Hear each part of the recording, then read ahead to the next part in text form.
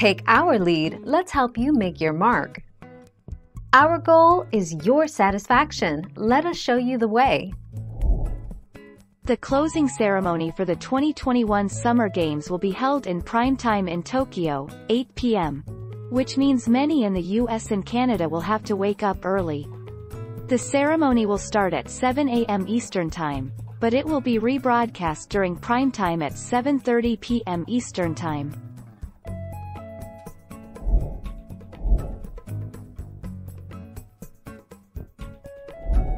Make your mark, take our lead.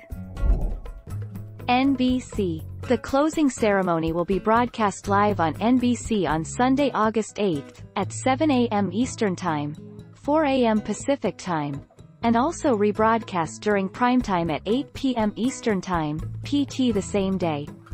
You can also live stream the ceremony on Peacock or on Fubo TV.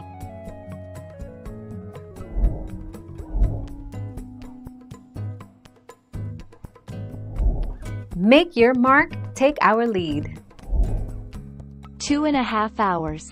What time is the Tokyo Olympics closing ceremony? It begins at 8 p.m. Tokyo time, 7 a.m. Eastern, and is scheduled to last two and a half hours. The ceremony takes place in Tokyo's National Stadium.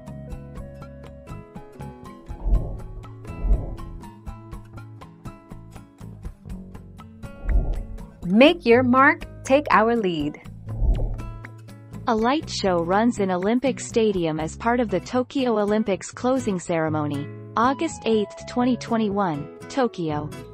Tomotaka Okamoto performs during the closing ceremony of the Tokyo 2020 Olympic Games at Olympic Stadium on August 8, 2021 in Tokyo, Japan. Thank you for watching. Please subscribe and hit the bell notification.